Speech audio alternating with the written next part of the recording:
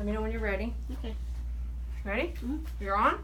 Okay, so Christina's on the camera. She's a client, and this is her baby. I've known Christina a while, a few years, uh, more than a few years. Uh, we're gonna come over here. Uh, as I'm grooming her dog, I can smell a very a strong stench, and it's not anal glands. Anal glands is very fishy. So as I was grooming, it's all gone now. I've shaved up in here and cleaned that out real good. That's good and all. But as a groomer, you want to be able to open this up, and this to me looks very infected. Um, and there's a smell, just a very rich smell. So I'm actually going to take a 40. This is a 40 blade. I'm going to spray disinfectant just in case on there.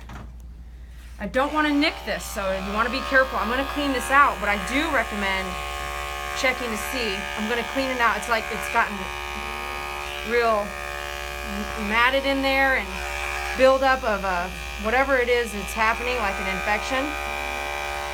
So don't dig hard with your 40, but if you want to take clean this out, I'm going to clean this out. This is my opinion. I'm really just looking, just kind of get some of that, expose some of it, okay? I'm being very careful here, watching everything I'm doing.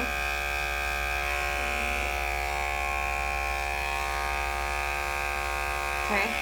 Real tough area, real private area too.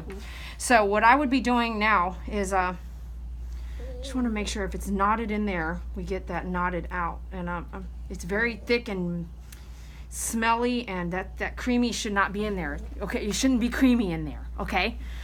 And as women, we know that, right? So I'm just gonna, I'm not a veterinarian. I think she needs to go see, I'm telling her to go see a veterinarian. So I'm just going to get some of this creamy stuff out of there, just a little bit. Um, but something she had said to me, and so you can kind of see it's still, there's gunk in there. So that's just temporary. That'll help a little bit, but I definitely recommend you see a veterinarian. Um, it to, I'm not a veterinarian, but this is I've worked with veterinarians, many of them, and I want to say this is a maybe a urinary tract infection, bladder infection. That the smell, the smell really you can smell it like it's funky.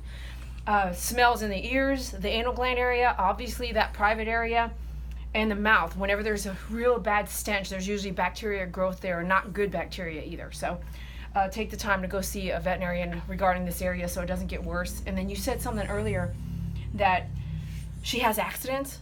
Does she kind of have a urinary accident every now and then, kind of thing? Sometimes when there's an urinary tract infection, you'll see that a lot, or you'll see a dog drinking a lot more water than normal. Yes. Any of those things kind of triggering Yeah, she's drinking a lot more water, and she doesn't even make it down the stairs before she pees. Okay, so now, am I? Isn't this hitting home a little bit? What I'm Yeah. saying? I have nothing. To, I haven't seen this dog in two years at least.